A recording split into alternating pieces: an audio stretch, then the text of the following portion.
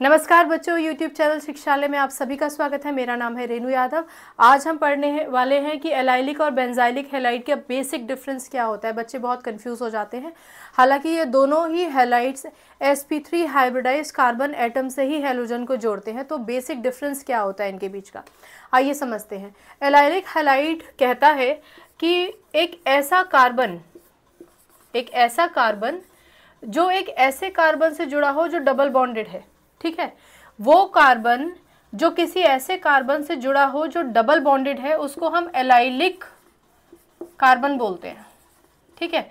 Allylic carbon का क्या मतलब हुआ? एक ऐसा कार्बन जो इन टर्न किसी दूसरे कार्बन से जुड़ा है, जो डबल बॉन्डेड है। ठीक है? अगर इस तरीके के कार्बन पर कोई भी हेलोजन आकर अटैच होता है तो वो कहलाया जाएगा एलाइलिक हेलाइड आप ये भी समझते हैं। मैं इसको एक बार दोबारा से बनाना चाहूँगी। आप ये भी समझते हैं कि अगर इस बेंजीन रिंग को मैं देखती हूँ तो यहाँ हर जगह कार्बन है, ठीक है? और ये कार्बन दोनों तरफ़ से हाइड्रोजन से ज्वाइंट है। ये अब आप अच्छी तरह से जानते हैं। हमने ये बात बहुत पहले भी डिस्कस की है कि इन हाइड्रोजन्स को हम दिखाते नहीं हैं। पर मैं हाइब्रिड स्टेट दिखाने के लिए आपको बता रही हूँ। ये दोनों के दोनों कार्बन एक तरफ़ से हाइड्रोजन से जुड़े होंगे और दूसरी तरफ़ से एक इलेक्ट्रॉन इसका और एक इलेक्ट्रॉन इसका खाली रह गया होगा, जिसकी जगह हमने यहाँ बॉन्ड बनाया है। तो कुल मिलाकर ये जो कार्बन है, उसका हाइब्रिड स्टेट तीन तरफ़ से ज्वाइन होने की वजह से हो गया sp2 इस कार्बन का हाइब्रिड स्टेट भी हो गया आपका sp2 लेकिन बाकी जितने भी कार्बन हैं, क्योंकि वो चारों तरफ़ से बॉन्डेड है, वो सारे हो गए sp3 हाइब्रिडाइज एलाइलिक हेलाइट कहता है कि मेरा जो हेलोजन है, वो sp3 हाइब्रिडाइज कार्बन से ही जुड़ेगा। लेकिन वो कार्बन, भले ही ये हो या ये हो, एक ऐसे कार्बन से जुड़ा होना चाहिए जो डबल बॉन्डेड हो। तो डबल बॉन्डेड कार्बन तो या तो ये है या ये है तो हेलोजन आकर इससे ही जुड़ेगा या फिर इससे जुड़ सकता है, ठीक है? कोई हर्ज नहीं है। तो ऑफ़ कोर्स हेलोजन आएगा तो हाइड्रोजन को हटाएगा, उसकी जगह ही लेगा। और ये हाइड्रोजन हम रिंग में नहीं दिखाते हैं तो आप इसको इस तरीके से भी दिखा सकते हैं। ये हो गया। ठीक है तो ये होता है आपका एलाइलिक हेलाइड, यानी एक एलाइलिक कार्बन से जुड़ा हो हेलोजन। एलाइलिक कार्बन, वो कार्बन जो एक ऐसे कार्बन से जुड़ा होता है जो डबल बॉन्डेड होता है। अगर आप एक एल्कीन की बात करते हैं तो यहाँ आप देख पा रहे हैं कि ये जो कार्बन है, वो तीन तरफ़ से जुड़ा है। तो ऑफ़ कोर्स ये sp2 हाइब्रिडाइज्ड है। ये कार्बन भी एक, दो और ये तीन तरफ़ से जुड़ा है, ये भी sp2 हाइब्रिडाइज्ड है। और क्योंकि यहाँ पर कोई भी शेयरिंग करने के लिए हाइड्रोजन नहीं था, हमने एक बॉन्ड बना दिया तो ये डबल बॉन्डेड हो गया। लेकिन ये जो कार्बन है, ये चारों तरफ़ से किसी न किसी से घिरा है। जब यहाँ एक्स नहीं था तो यहाँ हाइड्रोजन रहा होगा। ठीक, इसका मतलब ये कार्बन हो गया sp3 हाइब्रिडाइज्ड पहली कंडीशन है sp3 हाइब्रिडाइज्ड कार्बन ही होना चाहिए एलाइलिक के केस में।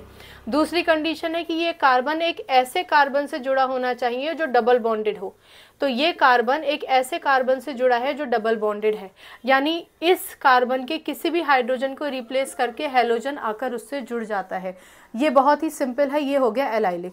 बेंजाइलिक तो बहुत ही सिंपल है। बेंजीन तो आपको पता ही है, एरोमेटिक रिंग हम इसको बोलते हैं, हर तरफ़ बॉन्ड है। तीन बॉन्ड है, तीनों बॉन्ड्स की वजह से हर एक कार्बन sp2 हाइब्रिडाइज हो जाता है। लेकिन अगर आप इसमें से ये जो आपका कार्बन है, इसकी लिंकिंग आप किसी और कार्बन से कर दीजिए। मान लीजिए ये आपका मिथाइल ग्रुप मैंने जोड़ दिया। तो इस कार्बन का नेचर क्या हुआ? इस कार्बन का नेचर हो गया sp3 हाइब्रिडाइज्ड अब इस sp3 हाइब्रिडाइज्ड कार्बन को कार्बन जो तीनों तरफ़ से हाइड्रोजन से जुड़ा है, इसके किसी भी हाइड्रोजन को हटा के कोई भी हेलोजन अगर आ जाता है तो वो बेंजाइलिक हेलाइट कहलाया जाएगा। यानी बेंजाइलिक हेलाइट की केवल एक ही कंडीशन है वो ये है कि जो भी कार्बन होगा, जिस कार, किसी भी पोजीशन पे कार्बन हो सकता है, पर वो कार्बन हमारा बेंजाइलिक कार्बन होना चाहिए। यानी कि बेंजीन रिंग से जुड़ा हुआ कार्बन होना चाहिए। अब कार्बन अकेले तो आएगा नहीं ना। एक तरफ़ से बेंजीन से जुड़ जाएगा तो बाकी तीन तरफ़ से तो ऑफकोर्स हाइड्रोजन से ही जुड़ेगा। फिर हाइड्रोजन की एक जगह ले लेगा हेलोजन और आप इसको इस तरीके से देखते हैं। ये देखिए C H two C H two C L किसी भी पोजीशन पे लगा लगा सकते हैं हेलोजन कोई हर्ज नहीं है। क्योंकि सारा का सारा, ये जित, जो बेंजीन है, हर जगह डबल बॉन्ड होता है। लेकिन शर्त इतनी है कि आपको कार्बन जोड़ना ही पड़ेगा राइट और वो carbon S P three hybridise होना चाहिए। ये वाला कार्बन देखो, ये एक तरफ़ से हाइड्रोजन से जुड़ा था, एक तरफ़ से यहाँ, और यहाँ भी हाइड्रोजन से ही जुड़ा था। तो इसके पास आकर उन्होंने हेलोजन को जोड़ दिया। क्लियर हो गया? इस कार्बन के साथ हेलोजन को क्यों नहीं जोड़ा? क्योंकि बेंजाइलिक हेलाइड की एक ही कंडीशन है। वो कंडीशन ये है कि कार्बन बेंजाइलिक कार्बन होना चाहिए, यानी डायरेक्ट बेंजीन से जुड़ा होना चाहिए। क्योंकि डायरेक्ट बेंजीन से ये कार्बन जुड़ा है, इसलिए यहाँ जो हाइड्रोजन रहा होगा, उसको डिस्प्लेस करके क्लोरीन या फिर हम हेलोजन इसको कह सकते हैं, आके यहाँ एडजस्ट हो गया। ये कार्बन इसके पास तीन हाइड्रोजन है। यहाँ आकर कोई भी हेलोजन अटैच नहीं होगा, क्योंकि ये कार्बन डायरेक्टली बेंजीन रिंग से जुड़ा नहीं है। आई होप आपको समझ में आ गया होगा। तो ये बेसिक डिफरेंस होता है एलाइलिक और बेंजाइलिक के बीच में। दोनों ही कंडीशंस में हेलोजन एक ऐसे कार्बन से आके जुड़ेंगे जो sp3 हाइब्रिडाइज्ड होगा। एलाइलिक के केस में एलाइलिक कार्बन होना चाहिए। यानी ऐसा कार्बन जो अल्टीमेटली किसी और कार्बन से जुड़ा हो, जो डबल बॉन्डेड हो। भले ही वो रिंग में हो या फिर वो ओपन स्ट्रक्चर में हो। बेंजाइलिक के केस में ओपन स्ट्रक्चर का कोई केस नहीं होता। एल्कीन, एल्काइन का कोई केस नहीं होता। सीधे बेंजीन होगा। कंडीशन सिर्फ़ एक ही होती है कि कार्बन बेंजाइलिक होना चाहिए। यानी कि बेंजीन रिंग से डायरेक्टली अटैच्ड होना चाहिए कार्बन। तो मैं हेलोजन दे दूँगा। और आपको पता है कि एस पी थ्री हाइब्रिडाइज ही होना चाहिए कार्बन राइट तो ये बेसिक डिफरेंस था इन दोनों के बीच का। आई होप आपको ये छोटा सा लेक्चर समझ में आया होगा। केमिस्ट्री से अपनी केमिस्ट्री अच्छी बनाइए, शिक्षा ले आइए, अपना ख्याल रखिए, खुश रहिए, और आपकी जय होगी। आप ऐसा काम ज़रूरी, ज़रूर ही कीजिए।